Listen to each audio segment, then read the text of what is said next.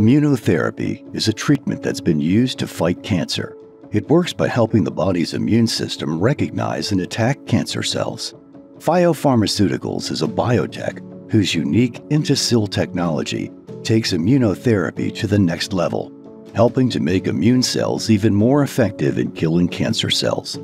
The INTASYL platform works with RNAi, a naturally occurring process within the body's cells that regulates the production of genes and proteins, some of which can fuel the growth of cancer cells.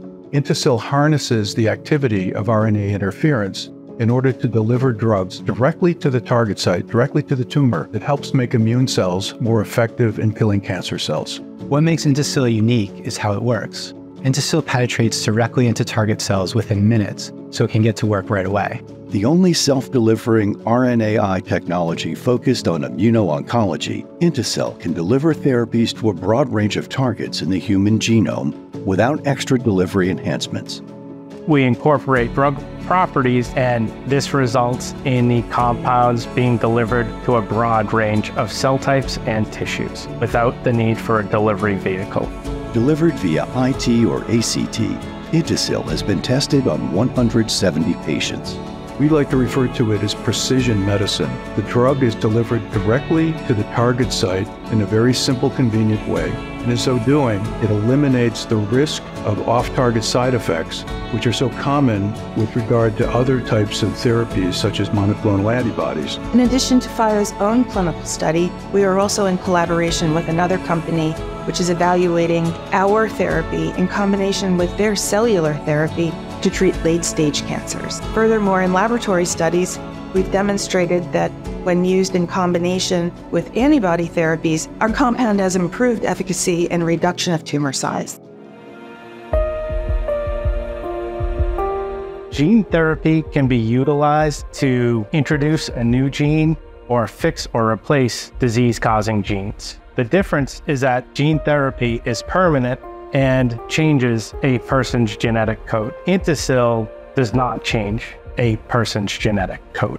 To the medical community, INTASYL offers some very distinct advantages to other therapies. Because of its simple injection process, it can be administered in a doctor's office, so it is convenient. The formulation is not complex. It has short lead times to manufacture, so the product will have a reasonably low cost of goods sold. One other advantage with INTASYL that may be attractive to physicians is the use in combination with surgical intervention. INTASYL has the ability to shrink tumors. It will minimize the surgical intervention. In so doing, it allows for tissue sparing.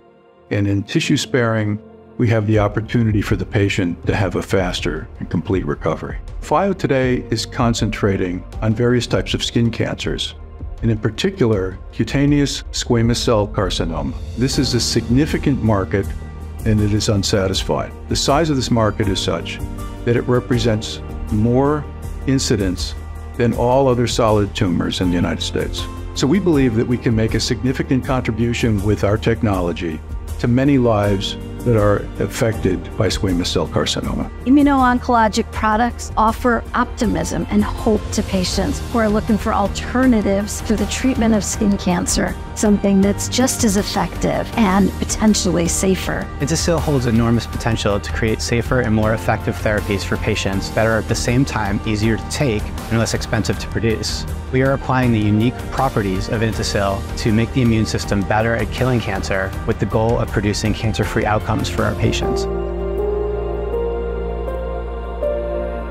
Phio was co-founded by the Nobel laureate who discovered RNAi, which revolutionized the way scientists think about precision medicine.